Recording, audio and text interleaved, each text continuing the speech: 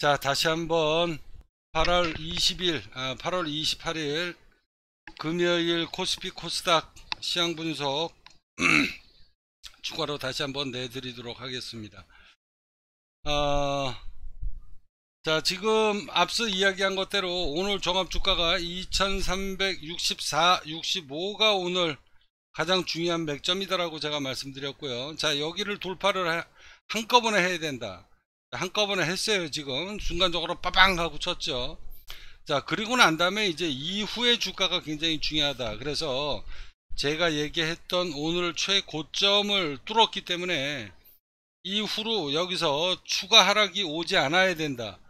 자 일단 주가가 상방으로 가겠다라는 게 일단 의지가 나온 것이기 때문에 자 지금 시간 이후로 지금 시간 이후로 2368 69 69를 다시 뚫고 올라가야 돼요. 뚫고 못 올라가 주면 지금 시간 이후로 다시 주가가 조정을 받으면서 2364가 깨지면 이거는 하방 압력이 다시 올 수 있다는 거기 때문에 여러분들 굉장히 조심하셔야 되고요.